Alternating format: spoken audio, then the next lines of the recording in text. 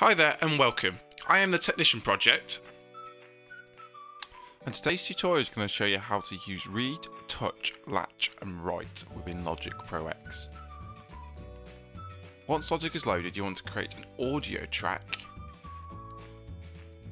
and go to File, Import an audio file.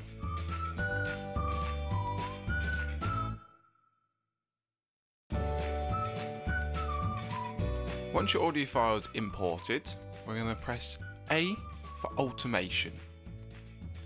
And we're going to select the read function. I'm going to draw six nodes within the volume automation and do a drastic volume drop. Read is the default function on the automation spectrum. Read allows the fader to read the automation programmed in not allowing you to edit the fader during the playback. The fader will move whilst the playhead is moving along the arrange window.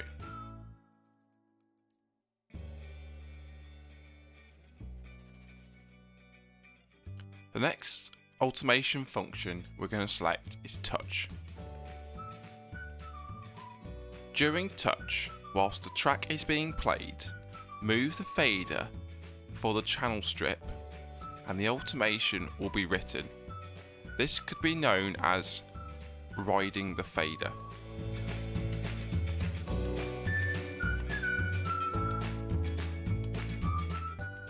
The next automation function we're going to use is latch. Latch is very similar to touch, whereas if you move the fader during the playhead, it will write the automation as you go along but this is where it is different to touch.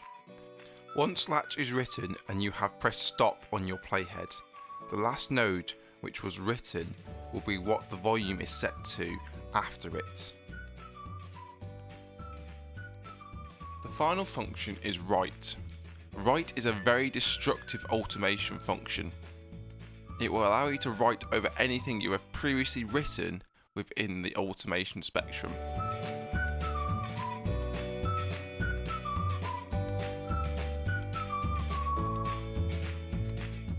Once you have finished using write, it will return back to touch so that you do not rewrite over the top of what you've just done.